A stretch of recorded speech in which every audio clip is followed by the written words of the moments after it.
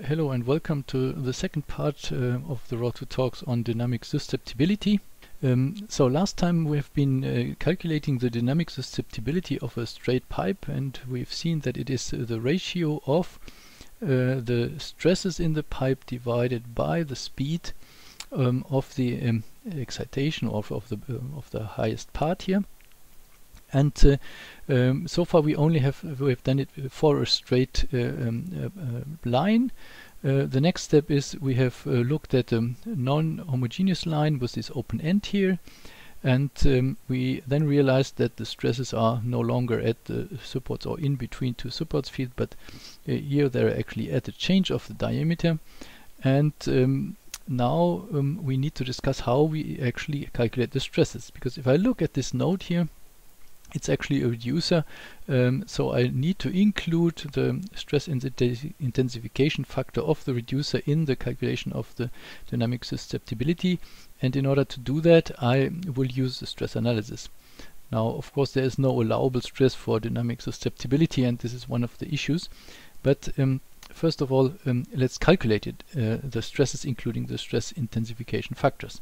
So we'll first of all go to manual stress calculation here so I can create my e equations manually um, and now I will use the um, equation that was created here by default uh, as if uh, as an S2 equation but I would like to include uh, it as an S3 equation so I get the um, stress intensification factor for fatigue and because the stresses are so high I will scale them by a factor of 10 the allowable. So um, the scaling the color scaling is a little bit more um, yeah readable. Yeah and I will do this for both cases here.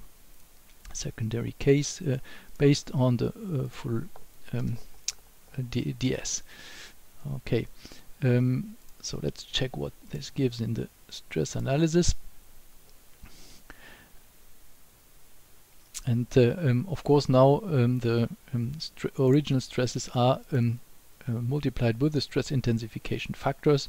And so if I look at the nodes now here I will find stresses that include the stress intensification factor here uh, of a factor of 2 so now at this location uh, I have stresses which are around five times higher than the original stresses of my straight line here. So this is um, uh, uh already a little bit of a concentration uh, compared to uh, the straight line.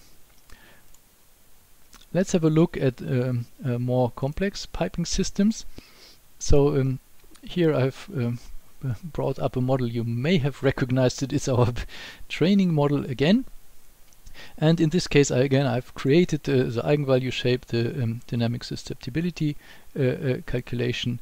And let's have a look at the eigenvalues first here. So the eigenvalues here, the first mode shape is at 3.9.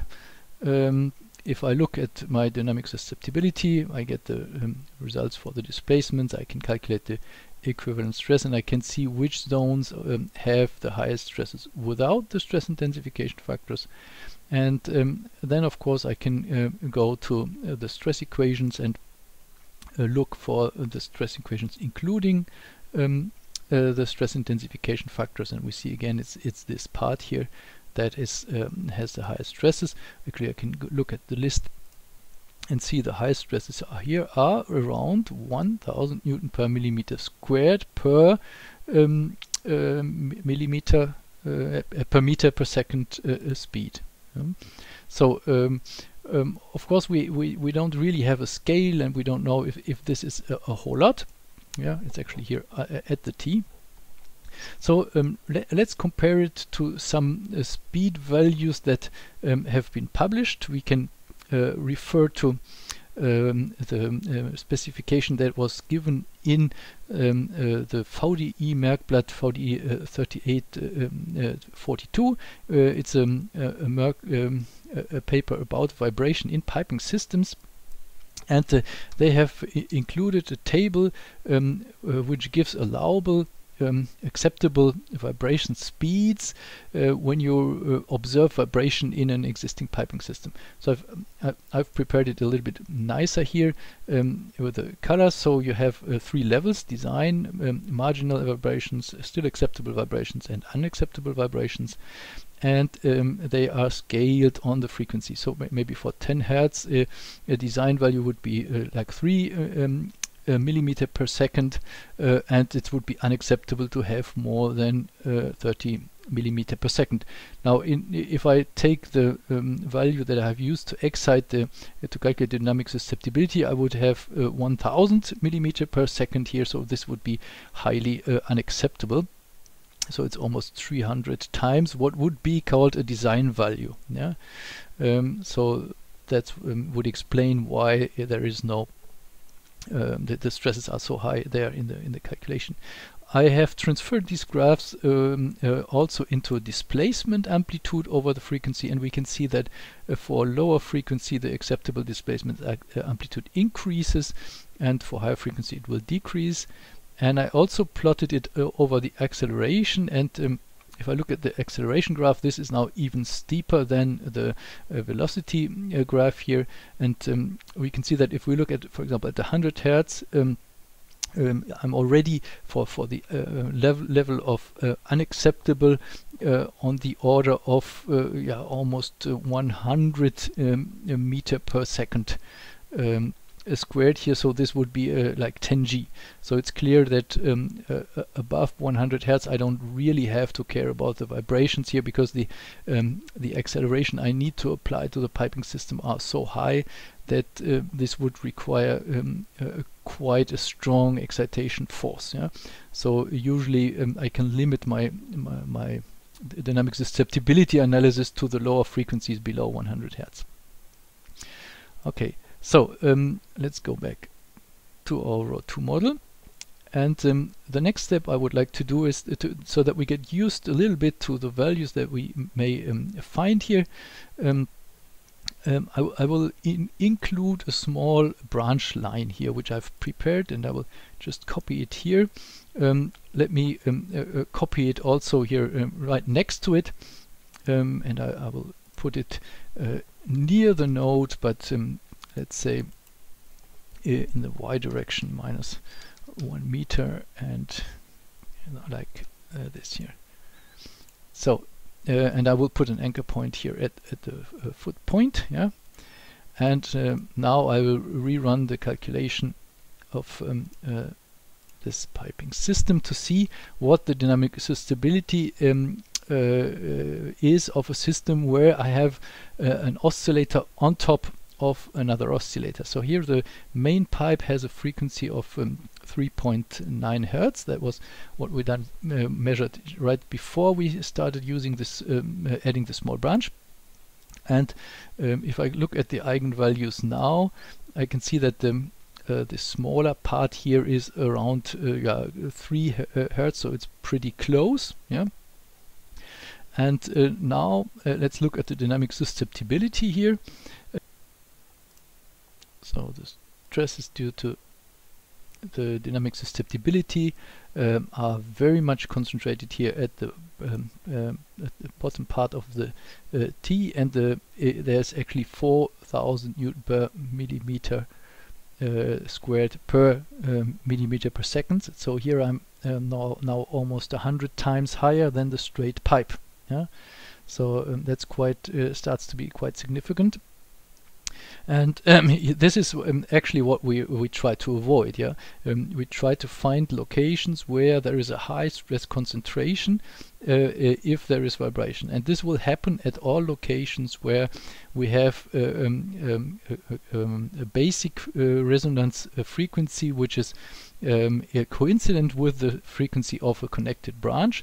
So the small a piece is basically excited twice. It's excited, excited by the underlying piping system exactly at the frequency which is unfavorable. Now um, uh, we could try to uh, improve this, for example, by uh, changing now um, the frequency of um, the branch. So um, um, uh, first of all, I um, I, I, will change the branch here to make it longer. Yeah, see what it does if I increase the branch length and check this one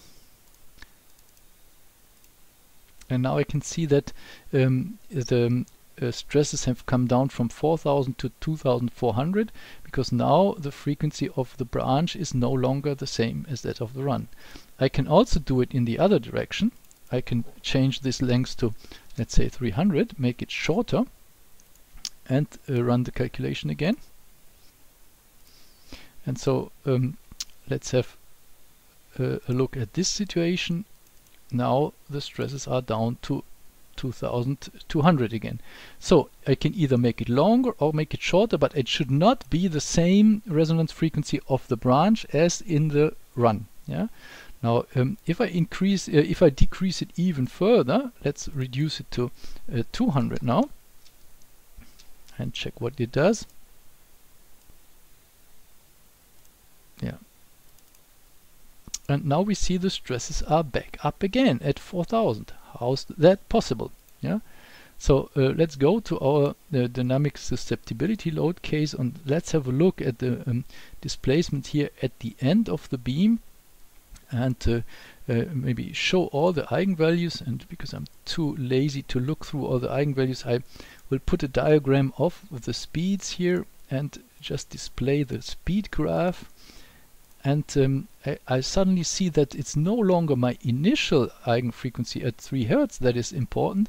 Now we are in resonance with a higher eigenform, which is um, actually moving in the y direction. Yeah, so this was a be a mode shape around uh, 20 um, something hertz. Yeah, so let's try to find this this mode shape here in the eigenvalue shape. So this would be probably this one.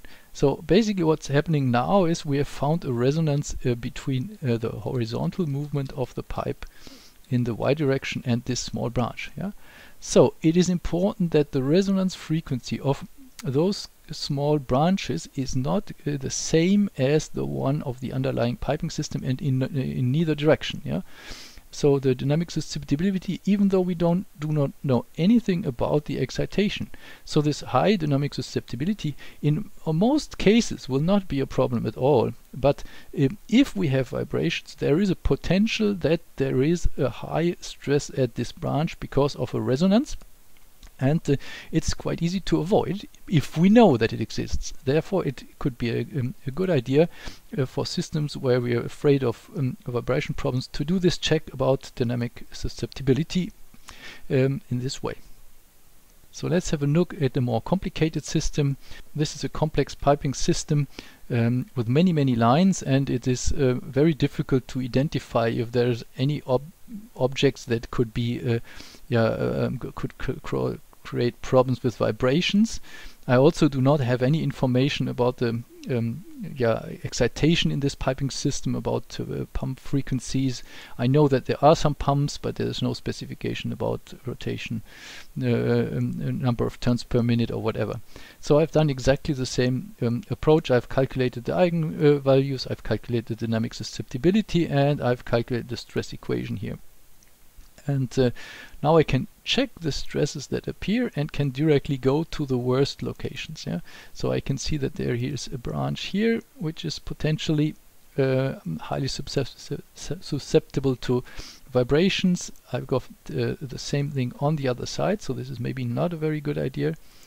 And there is another one over here um, where I also have an open branch. Yeah, so um, even though the the system is very complex, I don't have a um, um, I have uh, any information about excitation, I can use the dynamic susceptibility here to uh, to concentrate on those zones where the resonance of some branches is in uh, um, in concordance with the underlying piping system. And maybe just by changing a little bit the length of one of the the, the, systems I can easily avoid this uh, concentration and reduce them by a factor of two or even more. So that if ever there is any uh, vibration excitation in the, uh, the environment in which I built the system or if the process is such that there is a internal excitation, maybe due to, due to fluid, um, uh, this uh, dynamic susceptibility can be can help to reduce the risk that um, I have trouble in um, uh, when I run the plant. Yeah?